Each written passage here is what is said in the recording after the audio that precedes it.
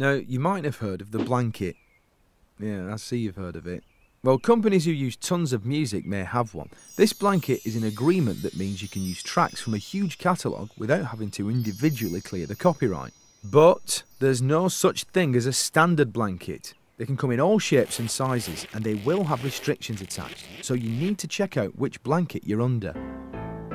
And chicken, just because you're covered by the blanket doesn't mean you don't have to report the music you've used.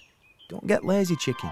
Because ultimately, the people at PRS and PPL need to know what music you've used. If they don't know, they won't know who to pay. So that lovely composer could be working hard for nothing.